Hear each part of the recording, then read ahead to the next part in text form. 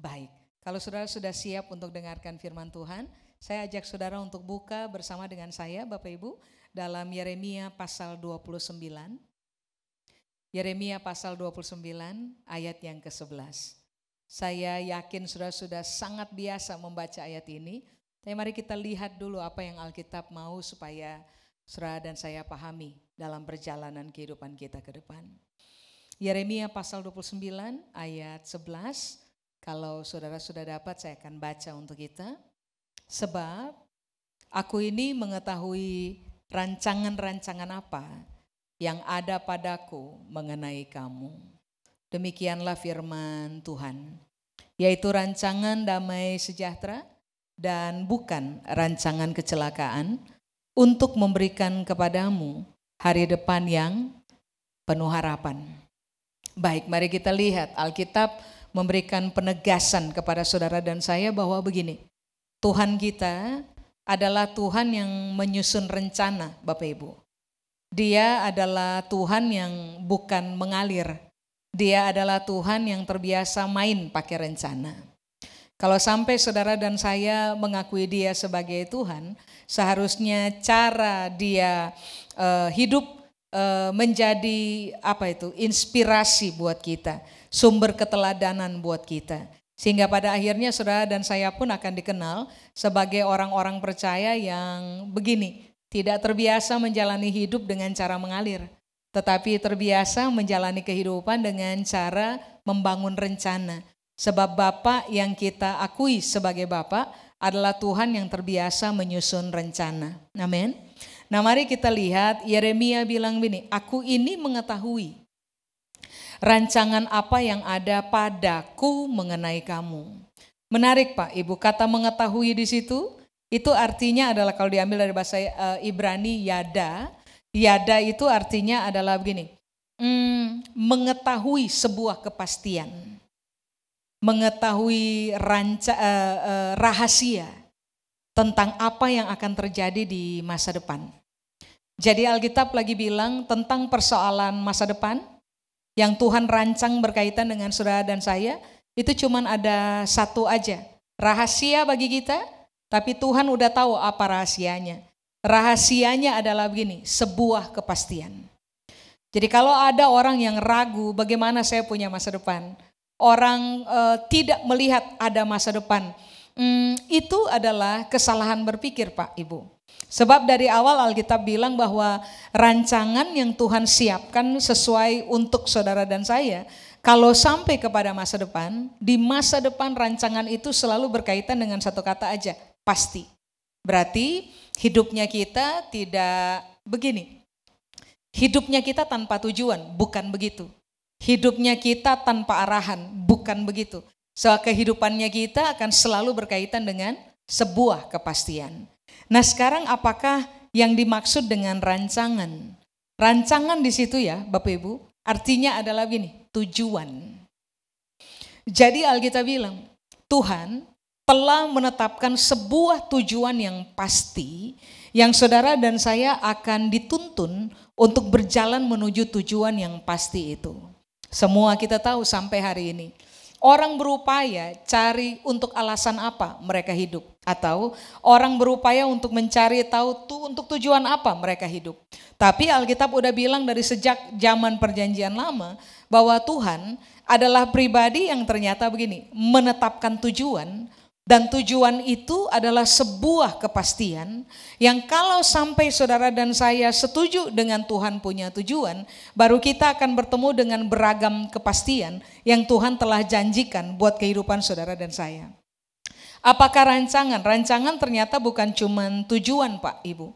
Rancangan atau bahasa Ibrani bilang mahasaba, rancangan itu artinya adalah begini, pekerjaan pekerjaan yang Tuhan rancang untuk dia kerjakan berkaitan dengan hidupnya kita selalu berakhir kepada sebuah kepastian. Jadi begini, kalau toh saudara melihat bahwa tampaknya Tuhan diam aja, waktu kita berhadapan dengan proses berat, waktu kita berhadapan dengan situasi yang sukar, lalu kita berpikir bahwa tampaknya Tuhan diam aja, Salah Pak Ibu. Alkitab bilang begini, waktu bagi saudara dan saya Tuhan tampaknya diam, ternyata Alkitab bilang begini, enggak loh. Tuhan itu punya hal yang akan dia kerjakan berkaitan dengan hidup saudara dan saya supaya pada akhirnya tujuannya terlaksana dalam kehidupan saudara dan saya. Saudara dan saya akan memiliki sebuah masa depan yang pasti karena rupa-rupanya Alkitab bilang begini, Tuhan tetapkan tujuan, tapi dia juga bekerja begitu rupa supaya pada akhirnya saudara dan saya mencapai tujuan yang pasti di dalam dia. Amin. Saudara bayangkan keluar dari rumah, bawa kendaraan tanpa tujuan. Itu berat. Atau saudara dan saya keluar dari rumah, bawa kendaraan, tahu alamat, tapi nggak tahu bagaimana cara sampai ke sana. Nah, kalau Alkitab bilang Tuhan memiliki rancangan untuk saudara dan saya, dia tahu betul dia punya rancangan buat kita, artinya Tuhan lagi bilang gini, kalau kamu keluar, kalau toh kamu bawa kendaraan, tidak usah khawatir, kamu pasti sampai ke tujuan. Saya akan bekerja memberikan tuntunan buat kamu supaya pada akhirnya kamu bisa mencapai tujuan. Makanya orang percaya adalah orang-orang yang sebenarnya begini, menjalani kehidupan pakai tujuan.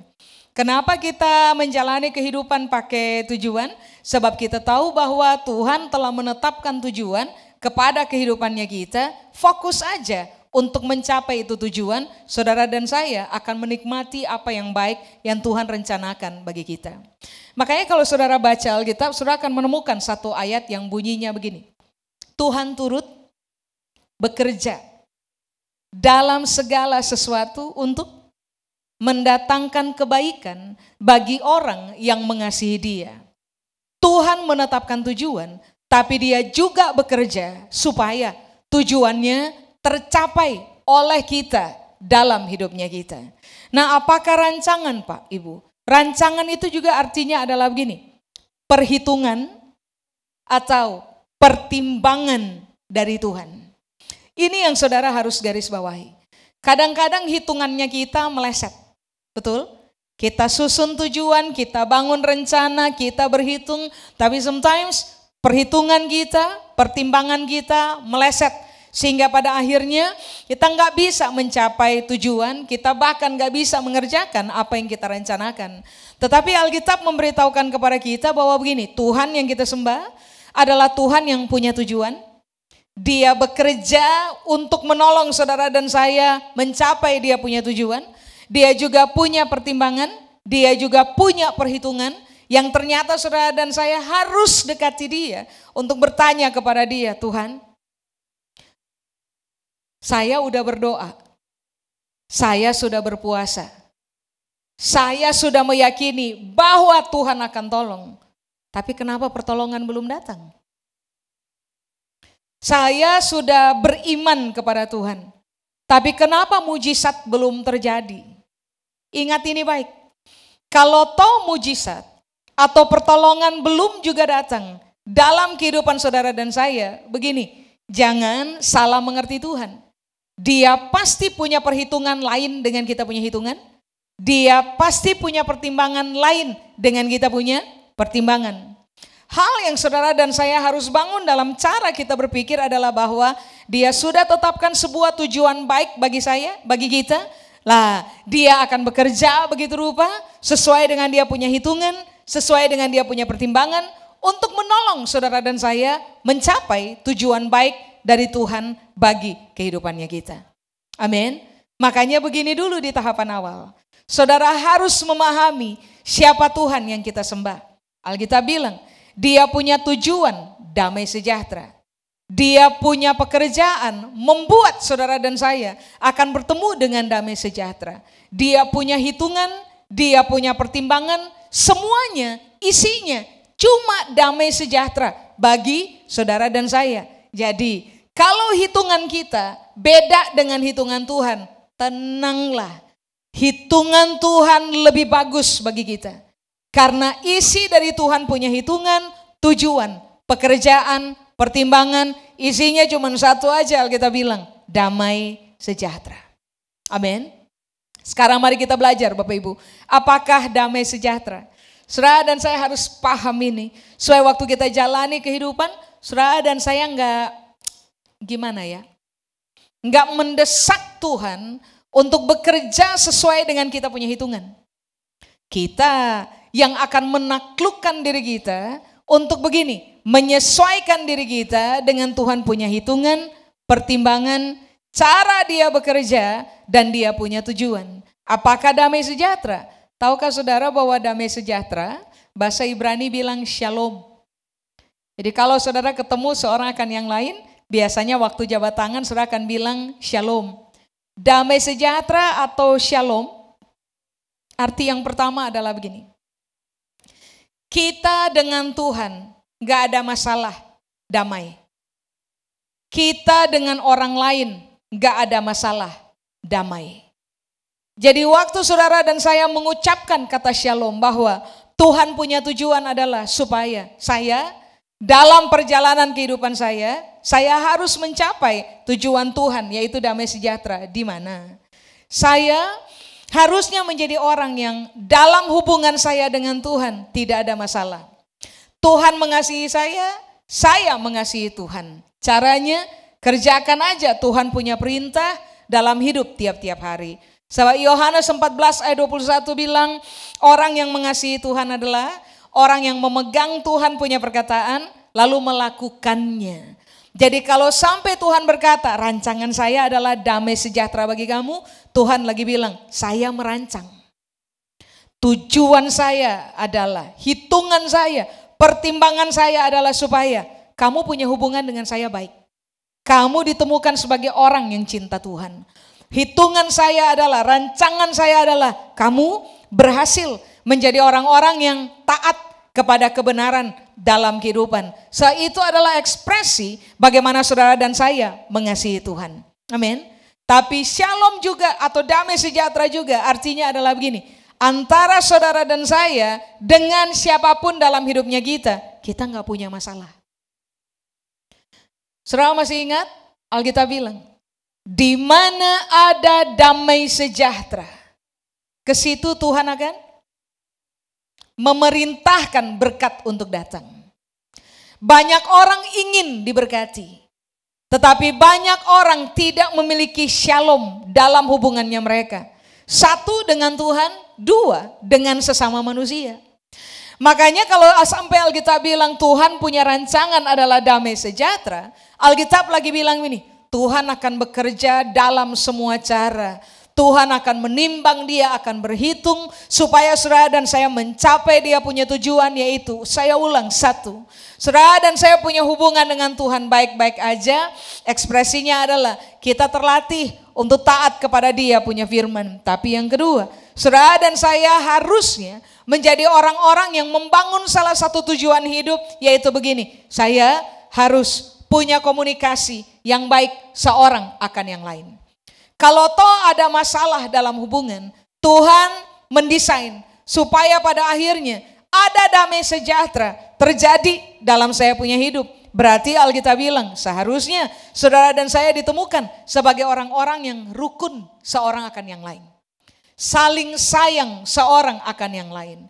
Kalau toh ada masalah dalam hubungannya kita, maka Tuhan akan bekerja supaya pada akhirnya saudara dan saya menjadi orang-orang yang gampang melepaskan pengampunan dalam sebuah hubungan. Bukankah berdamai itu penting? So, kalau sampai saudara dan saya berdamai, maka tahukah saudara bahwa pintu bagi kita untuk menikmati masa depan yang baik sedang terbuka karena kita memilih untuk menyetujui Tuhan punya tujuan, Tuhan punya rancangan dalam hidupnya kita. Amin. Makanya sangat penting kalau sampai saudara bertanya, apa tujuan Tuhan dalam hidup saya? Sederhana sekali. Tujuan Tuhan yang pertama, saudara dan saya harus cinta dia. Karena dia udah lebih dulu cinta kita. Tujuan Tuhan yang kedua adalah Tuhan, saudara dan saya harus mencintai orang lain. Yang paling utama adalah orang-orang di dekatnya kita. Hubungannya kita seorang akan yang lain harus beres Pak Ibu. Masalah dari kebanyakan orang adalah dalam membangun hubungan seorang akan yang lain. Masalah diperbesar, hubungan dikorbankan. Desain Tuhan yang isinya adalah damai sejahtera bagi saudara dan saya adalah begini, damai dalam hubungan. Berarti ini tujuan Tuhan bagi saudara dan saya. Masalahnya dikecilkan. Damainya diutamakan. Persoalannya diselesaikan. Damainya adalah prioritas. Kalau saudara dan saya ada masalah dalam hubungan, lalu saudara dan saya memilih untuk berkomunikasi dengan baik, untuk menyelesaikan masalah dalam hubungan.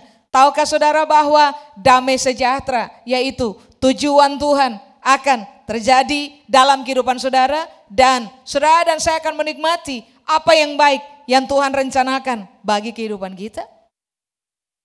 Halo? Apakah damai sejahtera?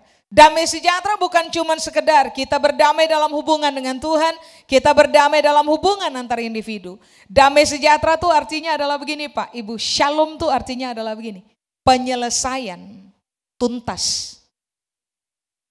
Apa pun yang kita nggak bisa selesaikan dalam hidup, rupa-rupanya rancangan Tuhan bagi saudara dan saya adalah damai sejahtera. Artinya kalau dia bekerja dalam hidupnya kita, apa yang kita tidak bisa selesaikan, dia akan selesaikan. Makanya pada waktu saudara dan saya berhadapan dengan masalah-masalah yang sukar dalam kehidupan, saudara dan saya harus declare ini ayat bahwa rancangan Tuhan adalah damai sejahtera untuk saya. Rancangan Tuhan adalah apa pun yang saya tidak bisa selesaikan, dia akan bekerja untuk menyelesaikan apa aja sehingga masalah yang satu ini pun Proses berat yang satu ini pun akan selesai. Makanya kenapa Alkitab bilang, kalau Tuhan membangun rencana, rancangan, pertimbangan, hitungan, tujuan, tujuannya cuma selesai aja supaya saudara dan saya bisa menikmati hari-hari yang dia percayakan kepada kita. Amin. Bapak Ibu, saya yakin Saudara pasti pernah berhadapan dengan situasi-situasi atau kisah tertentu dalam kehidupan yang saudara sudah berupaya begitu rupa menyelesaikan persoalan yang ada dan persoalan gak selesai. Waktu saudara dan saya berhadapan dengan fakta itu kembalilah lagi kepada Alkitab yang kita baca. Rupanya Alkitab bilang bahwa Tuhan itu punya tujuan. Dia bekerja, dia berhitung, dia menakar, dia menimbang segala sesuatu supaya pada akhirnya apa pun yang saudara dan saya nggak bisa selesaikan, dia akan selesaikan supaya penuhlah dengan damai perjalanan kehidupan kita. Amin Bapak Ibu. Apakah damai sejahtera? Ini menarik sekali. Damai sejahtera, pengertian yang berikutnya adalah begini Pak Ibu. Pemulihan. Lihat ya, dari awal tuh Tuhan bilang loh, dia susun rencana. Dia menimbang. Dia berhitung. Dia bekerja dalam hidup saudara dan saya. Dia punya tujuan. Pekerjaannya adalah begini. Bukan sekedar bikin kita menolong kita untuk mengasihi dia. Menolong kita untuk selesaikan masalah hubungan dengan sang manusia bukan sekedar menyelesaikan apa yang kita tidak bisa selesaikan dalam kehidupan, tapi rupa-rupanya ini yang Tuhan bilang, damai sejahtera sama dengan apa pun yang belum pulih dalam kamu punya hidup, Tuhan itu punya tujuan adalah kamu akan menikmati pemulihan. Coba saudara lihat. Makanya kenapa Yeremia bilang gini, Tuhan itu nggak pernah ngerancang jahat bagi saudara dan saya. Sebab dalam Tuhan punya isi pertimbangan adalah bayangkan hubungan kita dengan Tuhan pulih, hubungan kita dengan sesama manusia pulih, apa yang kita nggak bisa selesaikan dia selesaikan, apa yang belum pulih dalam kehidupan kita dia turun tangan bekerja untuk memulihkannya. Harusnya pada pemahaman ini, saudara dan saya akan dikenal sebagai orang yang semakin mencintai Tuhan.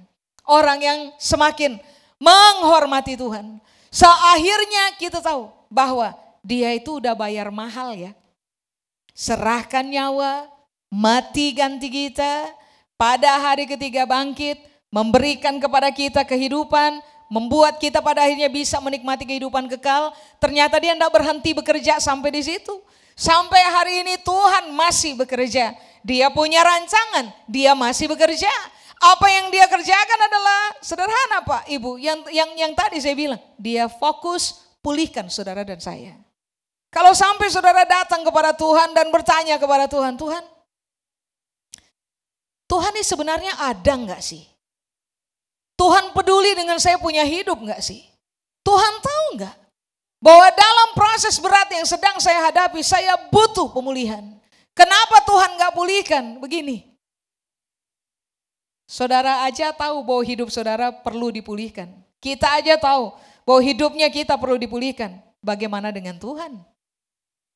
Yang menciptakan kita, yang menyerahkan nyawa bagi kita, yang sampai hari ini nggak nganggur di sorga Pak, Ibu, sampai hari ini dia masih bekerja. Kepentingannya adalah supaya apa pun yang belum pulih dalam saudara dan saya punya hidup, dia akan bekerja sampai tujuannya terlaksana bagi kita. Apakah tujuannya? Sederhana, mendatangkan pemulihan bagi saudara dan saya. Pemulihan di area mana? Semuanya. Apa pun yang belum pulih dalam saudara dan saya punya kehidupan, Alkitab bilang gini, ah Tuhan punya tujuan. Kita harus mengalami yang disebut dengan pemulihan. Ternyata waktu saudara mengalami pemulihan, tahukah saudara bahwa rancangan damai sejahtera Tuhan ternyata telah terlaksana dalam saudara punya kehidupan? Halo? Apakah damai sejahtera? Ini menarik. Damai sejahtera atau shalom artinya adalah perbuatan baik. Jadi coba lihat. Tujuan Tuhan yang sampai hari ini dia masih bekerja pertimbangan Tuhan, hitungan Tuhan yang membuat sampai hari ini dia masih bekerja adalah supaya saudara dan saya punya hari depan bertemu dengan damai sejahtera atau lebih tepatnya Tuhan bilang ini, saya sampai hari ini masih bekerja. Apa yang saya kerjakan? Saya sedang bekerja untuk membuat perbuatan-perbuatan baik terjadi dalam kamu punya kehidupan. Makanya Bapak Ibu sangat penting bagi kita untuk mencermati bagaimana kita hidup hari ini. Satu, dulunya kita punya hubungan gak baik dengan Tuhan.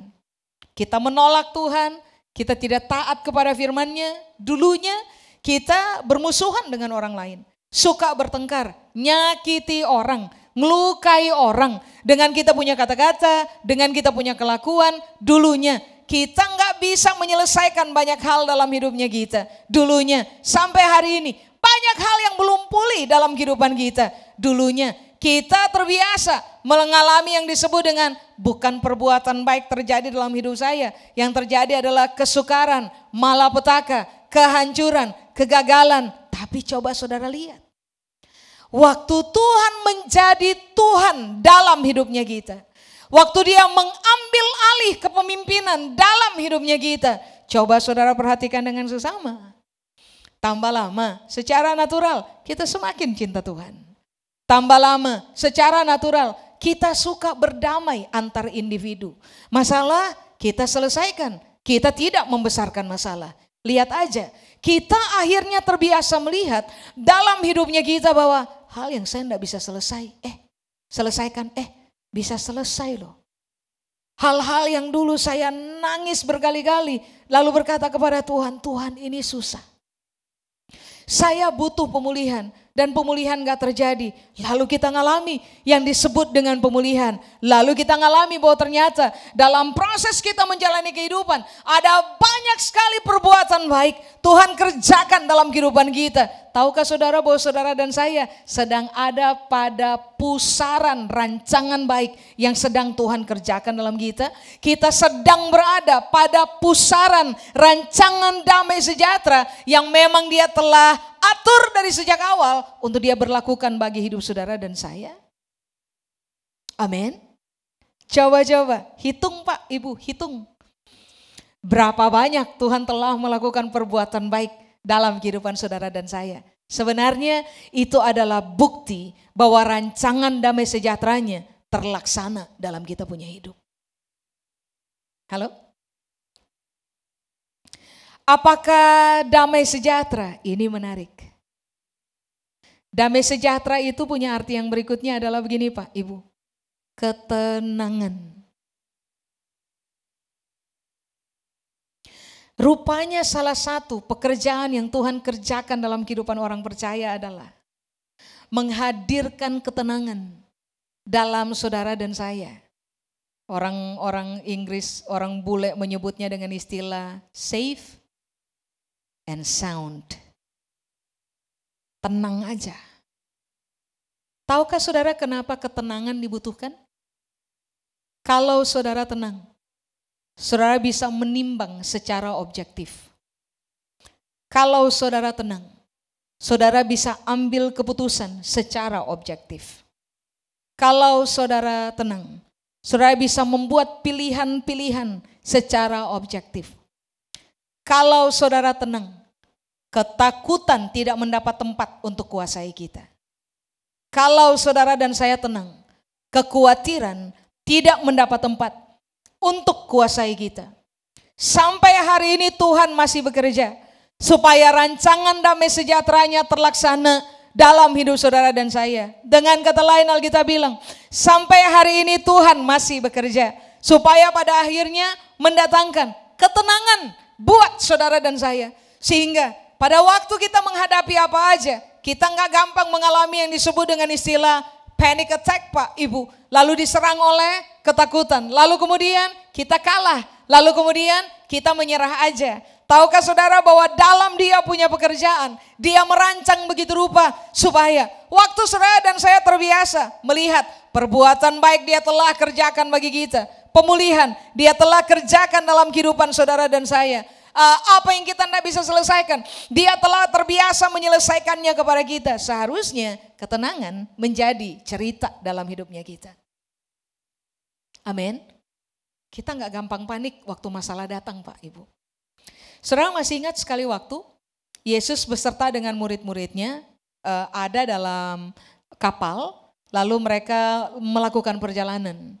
Lalu Alkitab mencatat bahwa di tengah perjalanan mereka ada badai datang.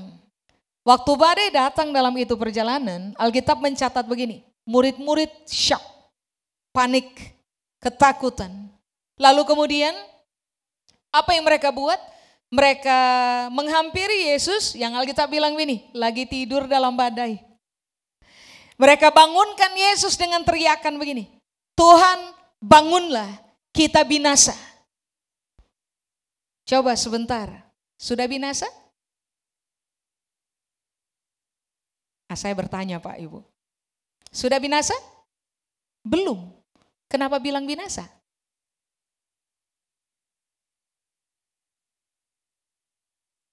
Masalah kita adalah waktu kita berhadapan dengan fakta di depan mata yang mengerikan. Yang terbangun pada kita punya konsep berpikir adalah selesai. Habis. Nggak ada harapan. Mati. Masih ingat Yesus bilang apa? Kenapa kamu takut? Hai kamu yang kurang percaya. Kenapa takut? Ketakutan bikin orang panik. Kepanikan bikin orang tidak bisa melihat clearly dengan jelas. Ketakutan bikin orang panik, merampas ketenangan, sehingga pada akhirnya yang terjadi adalah menggerus kepercayaan di dalam kita. Apa yang Tuhan rancang berkaitan dengan hidupnya kita sampai hari ini dan sampai kepada masa depan. Apa yang dia sedang kerjakan dalam hidup saudara dan saya hari ini sampai kepada masa depan adalah dia sedang bekerja dalam hidupnya saudara dan saya untuk menghadirkan ketenangan di dalam kita. Supaya pada waktu saudara dan saya menghadapi apa aja, you name it, apa aja. Saudara dan saya akan menghadapinya di dalam ketenangan sebab kita tahu bahwa Tuhan turut bekerja, Tuhan sedang telah bekerja, sedang bekerja mempersiapkan damai sejahtera, masa depan yang penuh dengan damai sejahtera untuk saya. Kalau janji itu rancangan Tuhan berkaitan dengan sebuah kepastian, berarti kan begini, sekalipun prosesnya berat, yang ini pun bisa selesai. Sekalipun tampaknya susah, yang ini pun akan pulih. Kenapa? Karena rancangan Tuhan berkaitan dengan apa tadi Alkitab bilang? Kepastian. Halo? Makanya kenapa mengulang kembali Yeremia pasal 29 ayat 11 seharusnya menggiring saudara dan saya kepada sebuah keadaan di mana kita semakin, saya tadi sudah bilang, hormat pada Tuhan. Mengasihi Tuhan. Sebab akhirnya kita tahu betul bahwa memang dia nggak pernah rancang kegagalan buat kita dari sejak awal. Coba lihat, yang dia rancang sepenuhnya menguntungkan kita Pak Ibu. Amin. Apakah damai sejahtera atau shalom?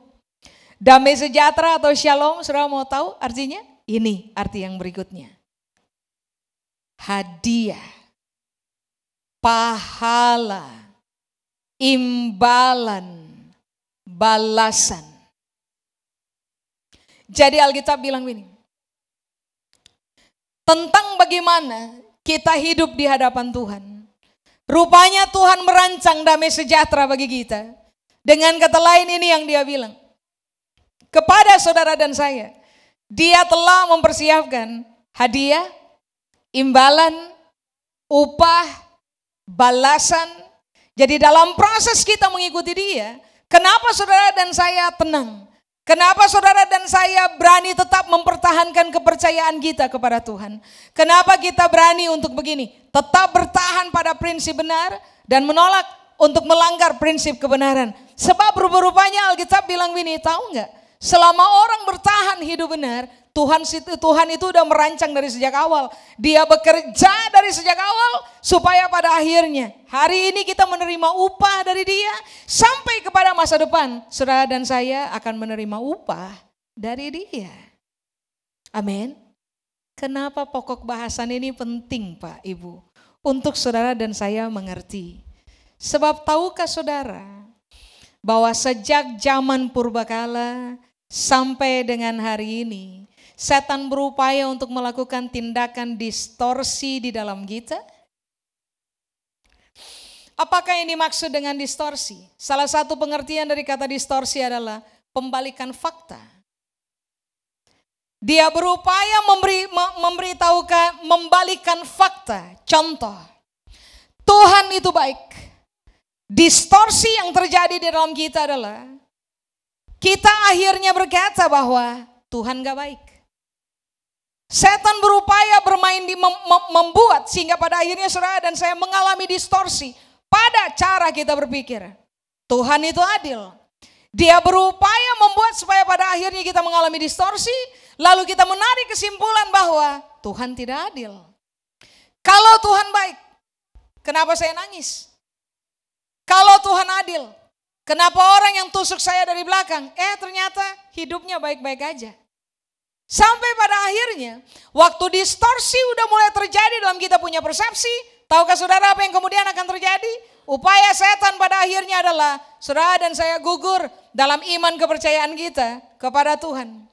Makanya kenapa Yeremia harus menulis kebenaran mengenai fakta bahwa tujuan Tuhan bagi saudara dan saya, cara dia berhitung, cara dia menimbang, bagaimana dia bekerja, sederhana aja datangkan damai sejahtera buat saudara dan saya.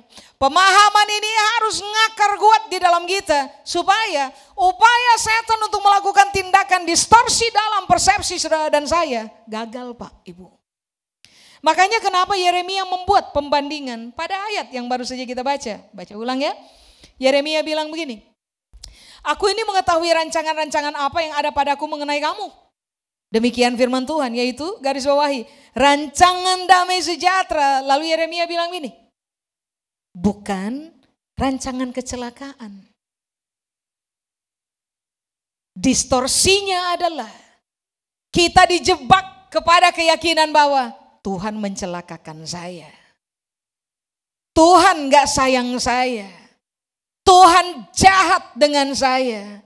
Dia gak peduli dengan saya distorsi, pembalikan fakta. Makanya Yeremia harus menggarisbawahi rancangan dia damai sejahtera buat kamu. Rancangan dia bukan kecelakaan bagi kamu. Amin. Mari saya jelaskan Pak, Ibu. Apakah kecelakaan? Supaya saudara paham bahwa ini bukan Tuhan yang melakukannya. Kecelakaan dalam bahasa Ibrani menggunakan kata ra atau ra'a. Kecelakaan yang ini bukan Tuhan punya rancangan loh Pak Ibu. ini bahkan bukan Tuhan punya pekerjaan. Jadi kalau ra itu terjadi dalam kehidupan kita, jangan tuduh Tuhan. Karena dia bukan dia pelakunya. Ya. Ra atau kecelakaan artinya adalah begini. Hal buruk. Sudah? Satu. Dua. Kesulitan. Tiga. Kesengsaraan. Empat. Kesusahan. Lima. Sakit hati. Enam. Watak jahat. Tujuh. Rusak hidup sampai hancur dan gagal berkeping-keping. Sudah? Ra juga artinya adalah begini. Hal-hal buruk yang konsisten terjadi dalam hidupnya kita. Coba-coba, Yeremia lagi bilang, ingat ingat baik-baik ya. Tuhan gak pernah bikin hal buruk konsisten terjadi dalam kamu punya hidup. Itu bukan dia punya pekerjaan. Tuhan gak pernah merancang supaya kamu setengah mati dalam hidup, sengsara, susah, ngalami kesulitan, punya watak jahat, rusak, hancur berkeping-keping. Nah itu, itu bukan Tuhan punya pekerjaan. Selalu ada dua pekerjaan kan? Kalau bukan setan punya pekerjaan, pekerjaan yang kedua adalah kita punya pekerjaan. Karena kita salah berhitung. Karena kita salah membuat perencanaan. Atau karena dosa yang belum kita selesaikan. Bisa jadi, ada banyak alasan. Tapi kalau saudara berpikir bahwa Tuhan jahat sama saya, nah itu, itu penipuan. Dia tidak pernah melakukan pekerjaan model itu. Pemahaman ini harus solid di dalam kita Pak Ibu. Sebab Alkitab udah bilang dari sejak zaman purbakala sampai dengan hari ini. Alkitab udah bilang bahwa pada hari-hari terakhir akan datang masa yang sukar. Kita sedang hidup pada hari-hari yang terakhir. Kalau saudara dan saya berhadapan dengan masa yang sukar, tenanglah. Pekerjaan Tuhan dalam hidupnya kita tidak akan mendatangkan celaka bagi kita. Pekerjaan Tuhan dalam kehidupan kita. Saya ulang, menyelesaikan apa yang Tuhan kita tidak bisa selesaikan. Memulihkan apa yang harus pulih di dalam kita. Tuhan tidak pernah merancang untuk hancurkan saudara dan saya punya kehidupan. Sehingga kita tidak bisa lihat masa depan. Secara Yeremia berupaya tahu kepada kita bahwa hei Masa depan dari Tuhan itu sebuah kepastian. Pemulihan dari Tuhan adalah sebuah kepastian. Penyelesaian dari Tuhan adalah sebuah kepastian. Damai dalam hubungan dari Tuhan adalah sebuah kepastian. Lalu apa lagi?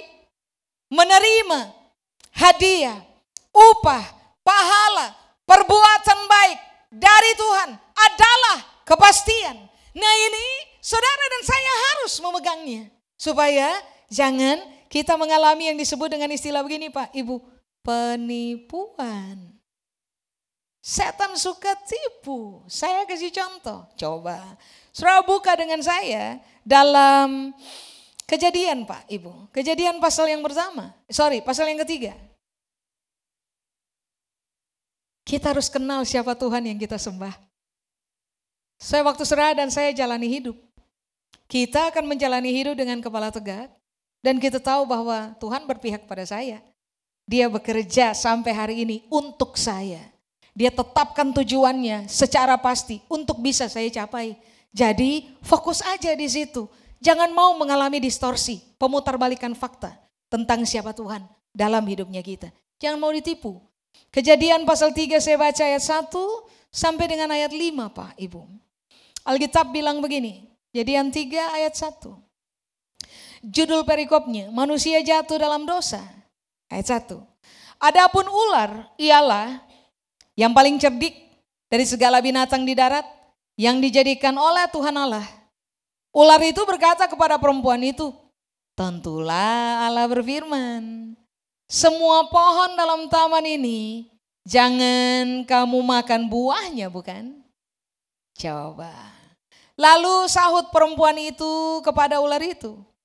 Buah pohon-pohonan dalam taman ini boleh kami makan. Tetapi tentang buah pohon yang ada di tengah-tengah taman, Allah berfirman, Jangan kamu makan ataupun raba buah itu, nanti kamu mati. Sudah? Itu Tuhan punya rancangan. Tuhan punya hitungan. Itu Tuhan punya pekerjaan yang dia lakukan supaya menghindarkan manusia dari celaka. Sudah? Lihat ayat 4. Distorsi. Kedangkalan memahami tujuan Tuhan. Di ayat 4, setan mulai bermain. Permainannya adalah begini. Tetapi ular itu berkata kepada perempuan itu, sekali-kali kamu tidak akan mati. Tetapi Allah mengetahui bahwa pada waktu kamu memakannya, matamu akan terbuka dan kamu akan menjadi seperti Allah, tahu tentang yang baik dan yang jahat. Kalau sudah mempelajari tatanan dari kalimatnya, salah satu tujuan setan mengucapkan kalimat-kalimat pada ayat 4 dan ayat 5 adalah begini kan, memberitahukan kepada Hawa, kamu tahu nggak bahwa Tuhan menghalangi kamu untuk menjadi sama seperti dia? Kamu tahu nggak bahwa Tuhan nggak mau punya saingan? Kamu tahu nggak bahwa di dalam Tuhan punya rancangan, ada sebuah rancangan licik yang dia mainkan untuk kamu punya hidup. Kira-kira itu mainannya. Lalu semua kita tahu Perempuan itu termakan dengan hasutan. Apa yang kemudian terjadi? Apa yang Tuhan larang dia sentuh. Dia kerjakan aja. Termasuk suaminya. Lalu kemudian ini yang terjadi. Mereka jatuh dalam dosa. Coba Tuhan sudah rancang. Supaya kamu punya hidup baik-baik aja. Kamu jangan langgar Tuhan punya rancangan. Jangan langgar dari Tuhan punya tujuan. Jangan langgar Tuhan punya tuntunan nanti kamu celaka. Tapi lihat, distorsi yang setan bermain upaya akan terjadi dalam kita punya persepsi, tujuannya adalah supaya kita celaka. Makanya kenapa Yeremia bilang begini, tegas, Tuhan punya rancangan, cuma damai sejahtera. Enggak ada yang disebut dia merancang untuk celakakan kamu dalam hidup. Enggak ada cerita. Rancangannya cuma adalah supaya kamu menikmati apa yang baik dalam kehidupan. Amin. Jadi kalau ada mulai penipuan-penipuan bermain dalam saudara dan saya punya punya cara berpikir, punya pikiran, punya persepsi bahwa ini Tuhan gak adil. Orang lain dia tolong saya enggak. Tuhan gak baik. Tuhan gak peduli dengan saya. Ah, itu penipuan.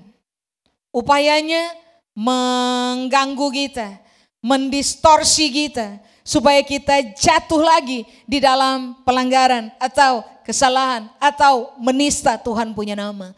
Saudara dan saya harus hanya melihat satu konsep aja. Tuhan punya rancangan damai sejahtera untuk saya. Amin.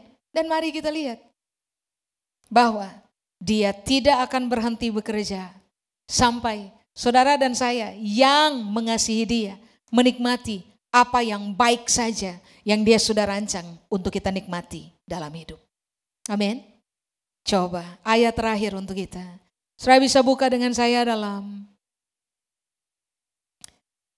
sebentar. Yakobus pasal pertama.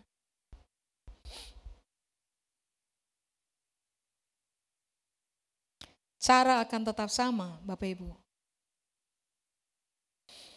Setan akan bermain penipuan di dalam isi berpikir kita untuk meragukan kemahakuasaannya Tuhan.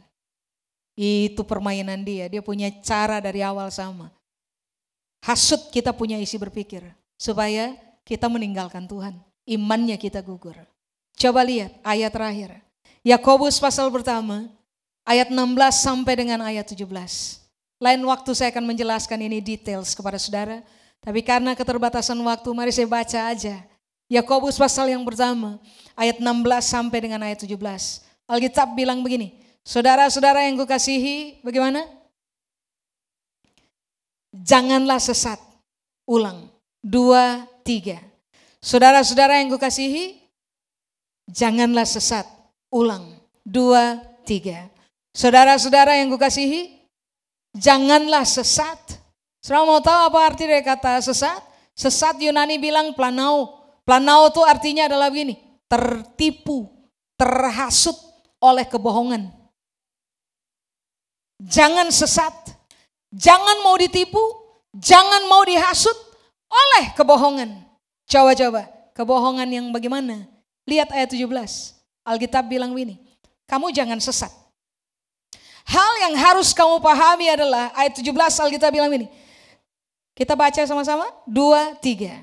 Setiap pemberian yang baik dan setiap anugerah yang sempurna datangnya dari atas, diturunkan dari siapa? Bapak segala terang. Padanya tidak ada perubahan atau bayangan karena pertukaran. Jadi Yakobus lagi bilang ini, hey jangan tertipu. Jangan terhasut oleh kebohongan yang dimainkan dalam kamu punya cara berpikir. Bahwa Tuhan juga merancang kecelakaan untuk saya. Jangan tertipu, jangan terhasut. Jangan mau mengalami distorsi pada cara berpikir. Sebaliknya, Yakobus bilang ini, kamu harus tahu bahwa setiap pemberian yang baik, setiap anugerah yang sempurna, datangnya dari atas, diturunkan oleh Bapak segala terang, garis bawahi, padanya, garis bawahi ya, nggak ada perubahan. Lalu tidak ada bayangan karena pertukaran. Bahasa Inggris bilang shadow shadow of turning. Saya berdiri di sini, bayangan ada di situ, right? Tapi kalau cahayanya berpindah, bayangannya akan pindah ke situ. Sementara saya tetap berdiri di sini. Kenapa bayangan bisa pindah posisi? Karena matahari contoh itu berputar, right? Pada waktu matahari pagi bersinar pada kita, bayangannya kita ke arah A. Pada waktu sore hari matahari menyinari kita, bayangan kita di arah B. Alkitab berupaya kasih tahu buat kita begini, kamu harus ingat. Bapak yang kamu punya, dia tidak pernah berubah. Sudah? Satu, dua. Dia punya statement, dia punya rancangan, itu tidak pernah tertukar. Halo? Kalau dia bilang bahwa Rancangan damai sejahtera cuman dia rancang untuk saudara dan saya, so be it. Rancangan itu nggak berubah. Kalau dia bilang bahwa pemberian yang baik dan anugerah yang sempurna, dia turunkan untuk saudara dan saya, maka kasih tahu untuk diri sendiri. Yang itu nggak mungkin berubah. Lalu begini, rancangan Tuhan nggak mungkin tertukar untuk saya. Tiba-tiba dia punya rancangan damai sejahtera, berubah jadi rancangan kecelakaan untuk saya. Tidak mungkin karena Tuhan itu tidak pernah berubah dan tidak pernah juga tertukar oleh bayangan. Berarti kasih tahu untuk diri sendiri. Satu kali dia rancang damai sejahtera untuk saya. Sampai saya mati, damai sejahtera akan tetap terjadi dalam saya punya hidup. Satu kali dia merancang supaya pemberian-pemberian yang baik diberikan kepada saya sampai saya mati Pemberian yang baik aja yang akan saya terima. Satu kali dia merancang bahwa anugerah sempurna akan datang untuk saya punya kehidupan. Maka sampai saya mati, pemberian yang sempurna, anugerah yang sempurna, itu saja yang akan saya terima. Pemahaman ini harus mendarat dalam keyakinan kita. Supaya, mari saya ulang. Saudara dan saya tidak mengalami distorsi dalam persepsinya kita kita akan tetap menjadi orang-orang yang fokus pada fakta mengenai siapa Tuhan. Dia baik, berlimpah, kasih setia, kaya dengan anugerah. Dia punya pekerjaan adalah pekerjaan yang semata-mata hanya mendatangkan damai sejahtera bagi kita, menganugerahi kita dengan semua hal yang baik yang dia punya, yang sempurna yang dia punya, supaya pada akhirnya seumur hidupnya kita, sampai kita hari terakhir tutup mata di muka bumi, kita tetap berani berkata kepada orang lain, Tuhan baik, gak bisa dibantah, itu fakta yang teruji. Amin. Sudah, saya selesai. Saya undang saudara mari bangkit berdiri, mari kita datang kepada Tuhan. Jangan mau ditipu Pak, Ibu. Tuhan gak pernah jahat bagi kita. Jangan mau ditipu.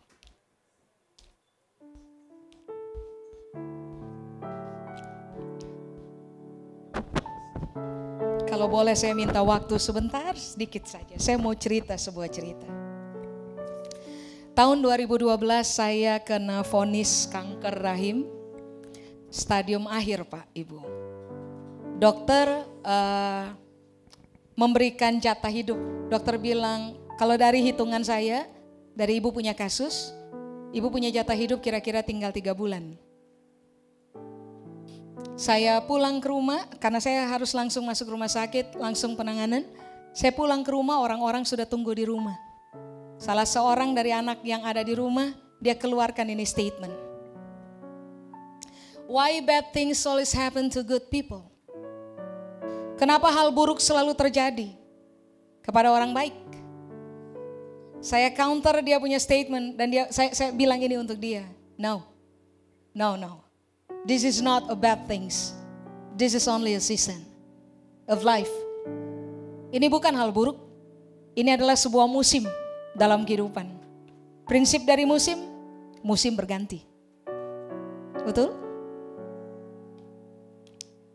Saya berpegang kepada Yeremia, Pak, Ibu. Tuhan punya rancangan damai sejahtera. Satu satu malam sebelum besoknya saya naik meja operasi, saya ngomong sama Tuhan personal. Tuhan kalau besok di meja operasi Tuhan panggil saya pulang, I'm ready. Saya siap, nggak apa-apa. Kalau Tuhan suruh saya pulang sekarang, nggak apa-apa. Saya bersedia. Tapi kalau Tuhan tanya buat saya, mau pulang sekarang? Malam itu saya bilang di atas tempat tidur saya, saya bilang sama Tuhan, dari hitungan saya, pekerjaan saya belum selesai. Jadi saya nggak mau pulang sekarang. Besoknya penanganan, sekian hari penanganan, dalam kurun waktu 10 hari saya harus menjalani operasi dua kali, lalu kemudian penanganan dan penanganan. Sampai pada akhirnya satu hari dokter masuk ke kamar saya dengan wajah rada bingung. Lalu dia berkata begini, This is must be a miracle. Ini pasti mujizat. Saya tanya kenapa dok? hasil kamu dinyatakan bersih total. Total. Sehingga pada akhirnya sampai hari ini Bapak Ibu, saya masih bisa berdiri di depan saudara dan saya. Percayalah bahwa di tengah situasi sulit, jangan biarkan setan membuat tindakan, melakukan distorsi dalam saudara dan saya punya cara berpikir. Waktu kita mengalami kesukaran dalam kehidupan, kasih tahu untuk diri sendiri, kepastian tentang rancangan Tuhan bagi saya adalah damai sejahtera. Jadi tenanglah hadapi apa aja. Kita kita akan memenangkan setiap musim dalam hidupnya kita dan kalau kita ketemu dengan Tuhan, Tuhan pun tahu kita tidak berubah iman terhadap Dia. Amin. Mari datang kepada Tuhan. Berapa banyak saudara mau angkat tangan di hadapan Tuhan sambil berkata, Terima kasih engkau bekerja sampai hari ini untuk mendatangkan damai sejahtera buat saya. Terima kasih.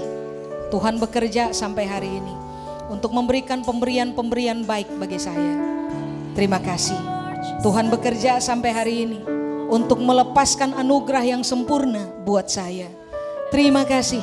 Tuhan bekerja sampai hari ini untuk menyelesaikan apa yang saya tidak bisa selesaikan. Memulihkan saya punya kehidupan. Menghujani saya dengan perbuatan-perbuatan baik memulihkan hubungan saya dengan Tuhan, memulihkan hubungan saya dengan sesama manusia. Kalau saudara mau angkat tangan, mari kita angkat tangan dan berkata kepada Tuhan, terima kasih. Engkau baik, engkau tidak akan pernah berubah. Rancanganmu tidak mungkin tertukar dalam kehidupan kami.